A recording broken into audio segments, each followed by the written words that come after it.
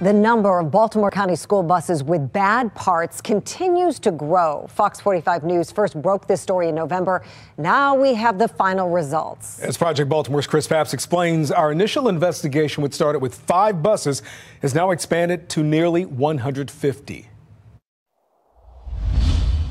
Say and spell your name for me. Paul Sauer, S A U E R. You are the whistleblower? I am. Why won't you answer this question for parents? We're going to be standing here till we see bus lights. The whistleblower. Would you put your kid on this bus? It's an extremely big safety concern. Who came to Project Baltimore anonymously in November saying, there's a problem. And he was right. MDOT has just proven what I was trying to say that a lot takes place or uh, there is a lot of things wrong that the county just sweeps under the rug. Project Baltimore, in November, first reported that five Baltimore County school buses with broken fuel tank straps were passing inspection and carrying students. Fuel tank straps secure the fuel tank to the bus. Sauer gave us inspection reports where a mechanic wrote fuel tank straps broke. The inspection was signed, certifying the repairs were made when they were not.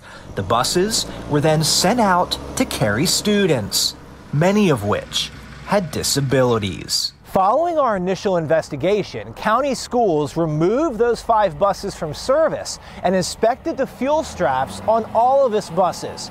In January, BCPS announced 52 buses had issues and the fuel straps were fixed. The Maryland Department of Transportation also got involved, announcing it would do full inspections on every Baltimore County school bus. That inspection is now complete, and we have the results. In total, the state inspected 801 school buses. It found 143 defects on 106 buses. 39 of those defects were considered major defects and included problems like fuel leaks and brake line leaks. Combine those 106 buses with the 52 BCPS had already repaired for deteriorated fuel tank straps adjust for overlap, and a total of 145 Baltimore County school buses failed inspection and needed to be repaired. 18% of the fleet, a result Sauer predicted in our first interview three months earlier. I would say uh, probably 15 to 20 percent of vehicles probably shouldn't be on the road. You were exactly right. How many defects are we going to let slide before buses start running off the road and wrecking. Our fleet technicians take tremendous pride in their work. After Project Baltimore broke this story, BCPS Director of Transportation, Dr. Jess Grimm, was called before the school board to answer questions about bus safety. During the November meeting, he was asked about MDOT's inspections and said this. We don't expect that there are going to be any material findings other than what any normal in, inspection would find. Do you believe that the results from the inspections from the state are significant? I do.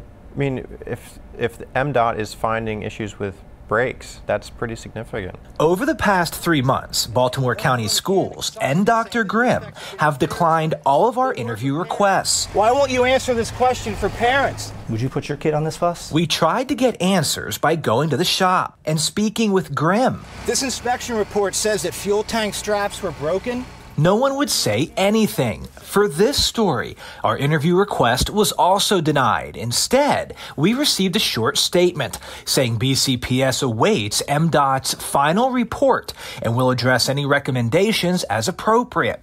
It also said, Our dedicated transportation team works hard to ensure that BCPS buses are safe and can successfully transport more than 77,000 students to and from school every day.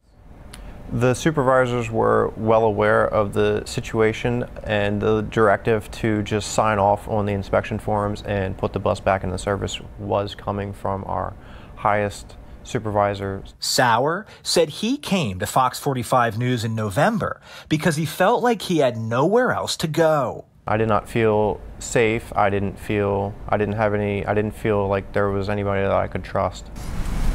Now he's coming forward because he no longer fears retaliation.